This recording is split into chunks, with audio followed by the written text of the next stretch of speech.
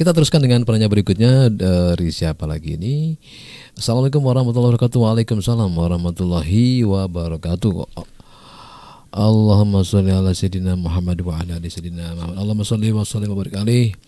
Selamat pagi Pak Dokter, sehat selalu dan ada di lingkung, lindungan Allah Subhanahu wa taala. Minta saran nih Pak Dokter untuk jamaah haji yang tahun ini uh, mau berangkat untuk menghindari cuaca yang ekstrim di Arab Saudi. Katanya dinginnya dingin sekuali jaga panasnya juga panasnya panas sekuali syukur. Wassalamualaikum warahmatullahi wabarakatuh. Waalaikumsalam warahmatullahi wabarakatuh tips jamaah yang akan berangkat berhaji. Mm-hmm. Masya Allah, Alhamdulillah kalau yeah. anda tahun ini masuk sudah rencana mm. tiket sudah di tangan dan pesawatnya sedang dipakai dulu jamaah lain ya. Iya Tenang, tinggal nunggu jamnya, harinya. Nah tipsnya apa dok? Tipsnya apa untuk bisa sehat berhaji? Yang pertama kita bersyukur dulu, bersyukur alhamdulillah. Yang kedua adalah berdoa, semoga Allah berikan kesehatan walafiat mampu berhaji dengan sempurna. Karena haji adalah ya ibadah yang di situ banyak ibadah fisiknya. Ya, maka tentunya kita meminta kesehatan jasmani, kesehatan raga dan yang ketiga adalah tidak sempurna doa tanpa upaya. Tidak sempurna doa tanpa upaya. Ya, setelah berdoa ingin sehat, ya upayanya apa? Olahraga. Olahraga semampunya diri masing-masing. Ya, jadi olahraga. Bagi yang usia lanjut gimana dok olahraganya? Ya sudah, duduk manis di teras rumah, menggerakkan kaki, menggerakkan tangan, jalan begitu. Dan jalan ke masjid lima waktu sehari itu sudah olahraga. Bismillah, dok. Tapi nggak maksimal kan dok olahraga begitu? Kita itu hanya disuruh upaya semampu kita. Begitu. Jadi tidak disuruh berupaya sama dengan orang lain yang mampu. Jadi semampu kita saja.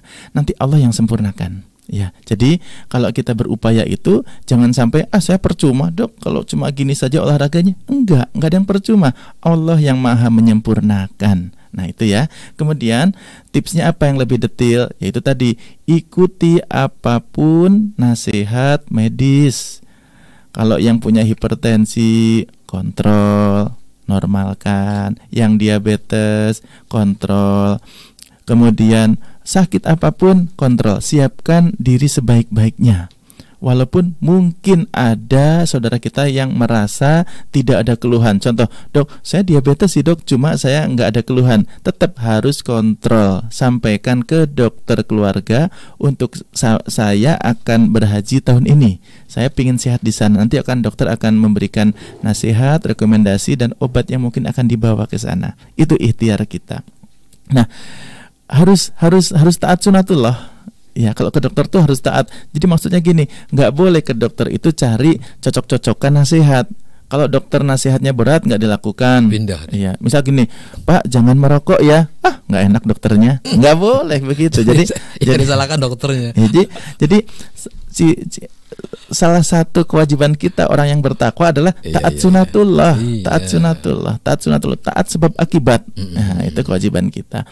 Dan kemudian, nah, kemudian jangan lupa, nah ini yang penting, jangan lupa bahwa tubuh kita mampu beradaptasi dengan sempurna asalkan kita bugar. Jadi kalau di tempat yang dingin luar biasa pun tubuh kita mampu bertahan di tempat yang panas sekalipun kita mampu bertahan. Asalkan apa? Jaga kebugaran. Kebugaran gimana caranya? Tadi kembali ke ikuti saja nasihat dokter. Dah sekarang olahraga, makan teratur, sayur mayur yang banyak, buah-buahan yang sering, hindari faktor stres. Dah itu saja.